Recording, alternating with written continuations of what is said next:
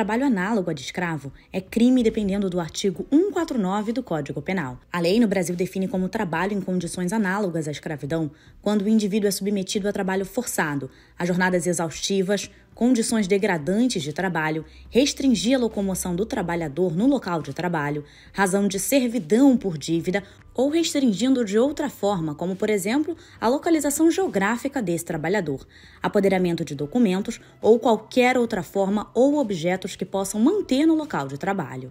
E não é necessário que todos os aspectos estejam presentes. Qualquer uma dessas situações já pode configurar trabalho análogo à escravidão.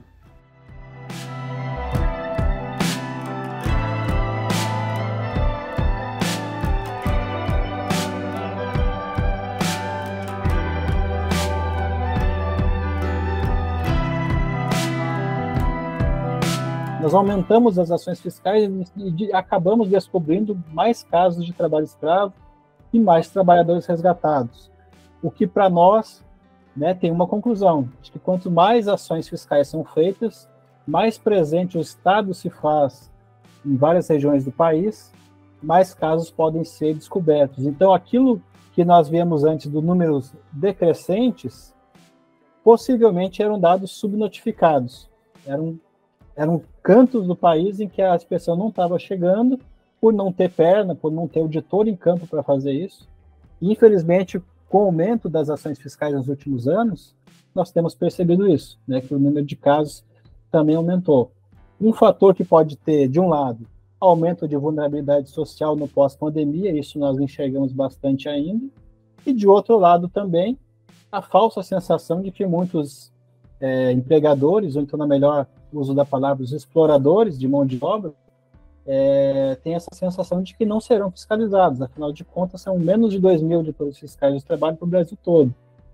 É que a crise econômica que já assolava o nosso país, mesmo antes da pandemia, né, que já assola o mundo, e que vem e que agravou-se com a Covid-19, ela gera um exército de pessoas dispostas a qualquer coisa porque elas precisam sobreviver. Eu não gosto de dizer que as pessoas escolhem, não dá, eu acho assim, a palavra escolha é muito pesada para o caso de trabalho escravo. Ninguém escolhe, né, ser escravizado. Porque não há escolha quando você está falando de morrer de fome de um lado e, e qualquer coisa do outro, né? Você vai escolher qualquer coisa. Você vai escolher qualquer coisa que te dê um mínimo de esperança de sair daquela situação de miserabilidade, de pobreza. O trabalhador do Maranhão, chamado Marinaldo Santos, ele foi resgatado três vezes pela inspeção do trabalho. E ele fala isso, que ele não se via como uma pessoa, primeiro, sujeita de direitos, e segundo, que tivesse sendo explorada, porque na, na, no pensamento dele, ele, por ser pobre, por precisar de trabalho, não ter outra possibilidade, ele teria que passar por aquilo. Então, que aquilo fosse, aquilo parecia para ele normal de uma pessoa somente pela condição de ser pobre né, de estar tá precisando de um trabalho de qualquer forma para poder sustentar a família. Então, isso para mim fica muito marcado na visão, nas palavras dos próprios trabalhadores resgatados, como o caso do Marinaldo. Porque tem muitos que pensavam que o trabalho escravo é só quando a pessoa é chicoteada. Mas o trabalho escravo, infelizmente, ainda acontece no Brasil.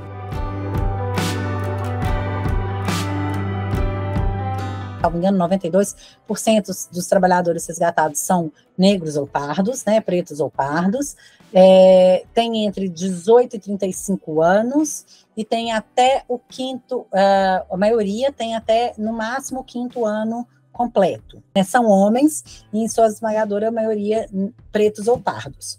É, isso quando a gente está falando do trabalho escravo de uma forma geral. Quando a gente vai para o trabalho escravo doméstico, que a gente tem uma troca do gênero. A gente tem a maioria mulheres, mas ainda assim a maioria sendo mulheres pretas ou pardas. Também com baixo índice de escolaridade, e aí uma, uma, uma atenção que a gente tem que ter maior com o trabalho escravo doméstico é que, diferente das outras formas de trabalho escravo, ele normalmente costuma durar, perdurar por longos anos. Mas no trabalho escravo doméstico, a situação de anos e décadas, ela é uma situação reiterada, né? Aquela pessoa vai e fica.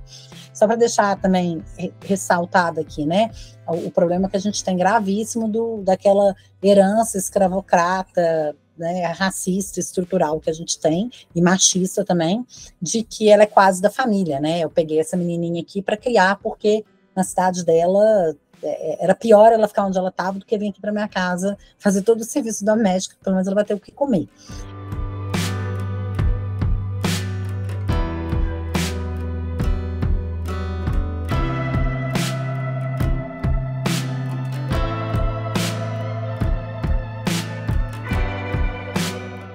Eu estava procurando emprego e ele trabalhava num bar de vigia.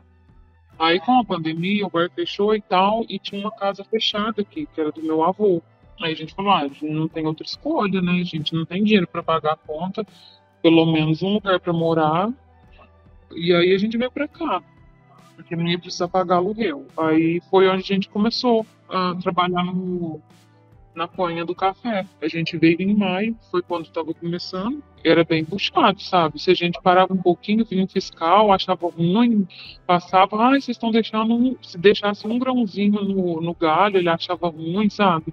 Não dava nenhum equipamento pra gente, a gente sempre achava muita cobra, aranha lá no meio, e a gente que tinha que comprar luva, tudo tudo que a gente usava, a gente que, que tinha que levar, não tinha água. Se a água que a gente levasse, é, que a gente levava se acabasse, a gente ficava com sede, se não tivesse ninguém para dar. E o valor também, sabe? A gente trabalhava para poder ter o que comer, porque se fosse no fim do mês, cada um ganhava em torno de 700, 800 reais. E aí ainda a gente tinha que é, levar comida, né? Tem a roupa que suja muito para lavar. Então, a gente fazia só para não passar fome mesmo, porque a gente saía mais ou menos uma média de 10 para 6 da manhã, 5 para 6 da manhã, para 6 e meia já tá na lavoura. A gente vê que no período pós-abolição, 1888, a gente percebe um fenômeno que a gente percebe hoje também, quando a gente resgata trabalhadores, que é as pessoas voltando a situações parecidas. Né? É, é, é, naquela época lá atrás, eles escravizados continuavam como, vivendo como se escravos fossem, porque eles não queriam ser abandonados à própria sorte, porque não, não tinha uma política pública de inserção. E eu acho isso assim de extrema importância de dizer, porque a gente ficou é, mais de quatro anos, porque não dá para contar só o último governo, tem que contar né, os anos anteriores também, é, não conseguindo falar de implementação de política pública.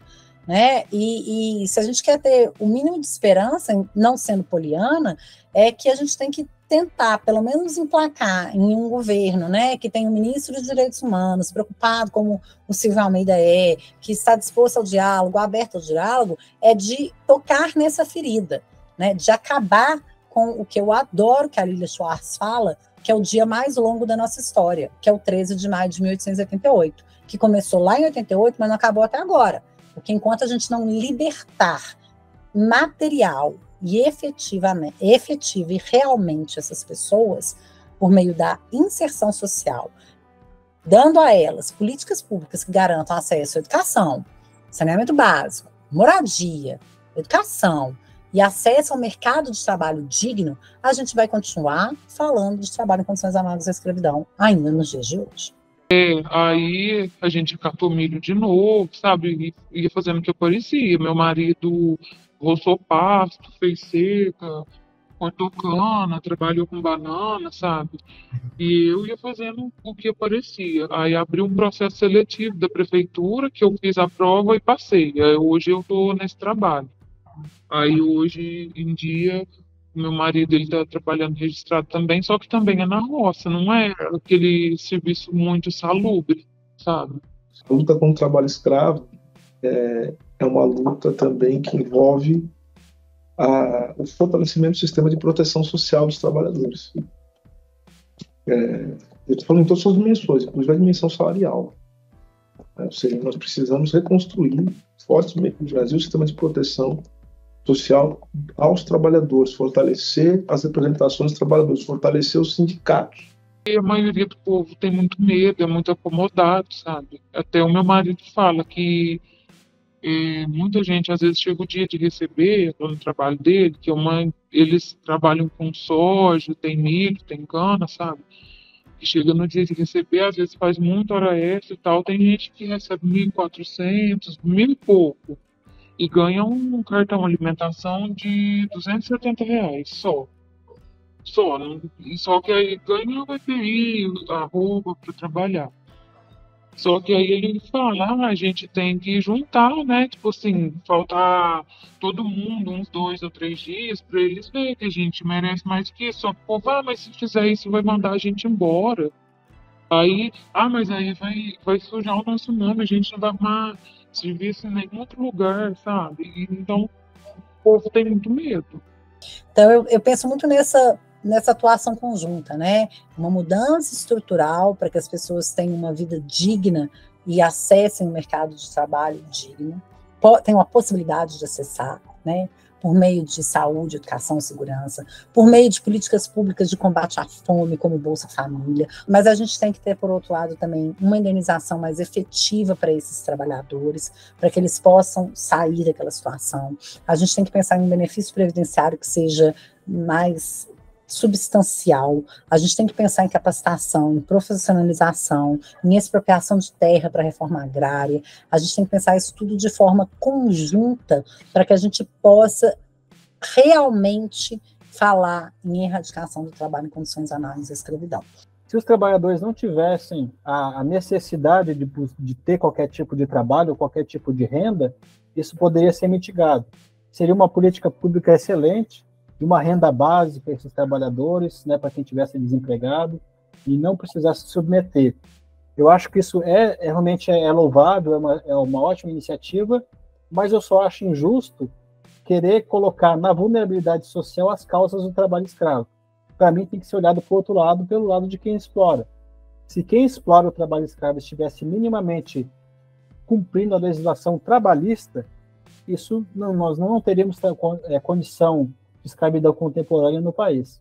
Então, se o mínimo da legislação trabalhista estivesse sendo seguido, nós não teríamos esse fenômeno.